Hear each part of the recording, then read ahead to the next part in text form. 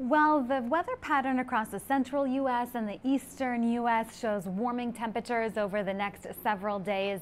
The pattern across the west is actually showing cooling temperatures and some more unsettled weather. So we're looking at the forecast from early on, and there is some snow across uh, parts of California, but that's going to clear out as we get into the later part of the day. We have mainly dry conditions across the region, but as the weekend goes on, it is going to be getting quite a bit cooler. So keep an eye on these temperatures for places like Phoenix, uh, Tucson, highs in the mid 80s there, uh, 66, so some very mild weather in Denver as well, 63 in Albuquerque, uh, 68 in Los Angeles. As we head into the day on Sunday, it actually even gets a little bit warmer for Phoenix, where highs top out into the upper 80s, warmer in Denver as well. But by Monday and into early next week, we are starting to see those temperatures tumble across the region.